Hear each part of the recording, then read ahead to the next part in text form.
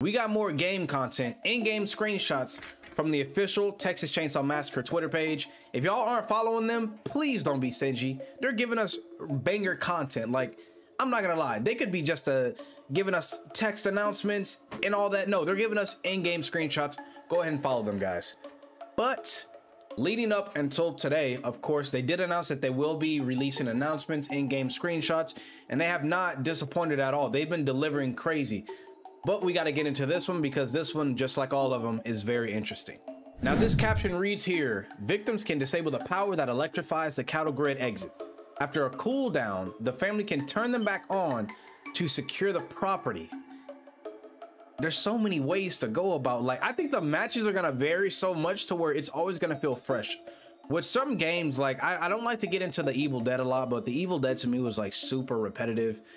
And I know like that game does have its core audience, but what I like about specifically Texas, there's gonna be so much to do, so many ways to exit, win. The game's gonna be crazy. But I think it's funny here, like for one, the game's beautiful. The beautiful screenshot. The cook is just so nonchalant, just sitting here watching the sunrise. Like, I don't know. That's just kind of funny to me, but it does look, it, man, this game looks good. This in-game screenshot looks amazing.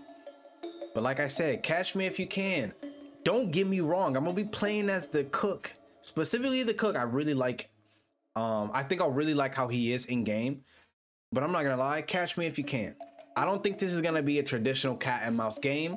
So I'm not going to, you know, underestimate anybody. I don't think it's going to be a traditional cat and mouse game where it's just I'm chasing you just to, you know, there's going to be so many ways we can outsmart each other. And this just plays into it.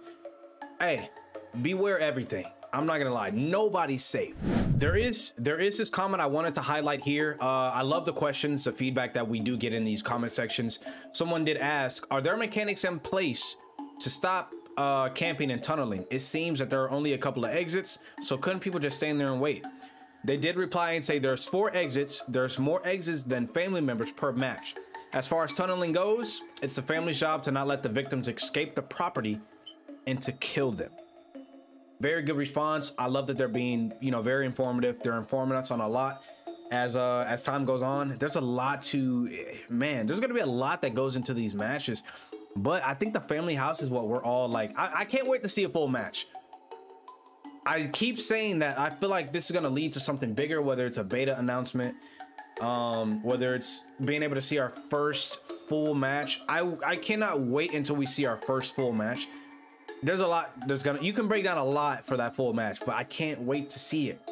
But guys, I hope you guys have been enjoying the videos follow them on Twitter. They release a lot of content. They're very active on Twitter. They also have a Discord. They have a subreddit. I believe that's how you say it. Reddit, subreddit. But if you guys are enjoying the videos, subscribe to me. I'm to keep y'all updated. I can't wait to play this game and provide y'all fire content. And I'm to see y'all next time.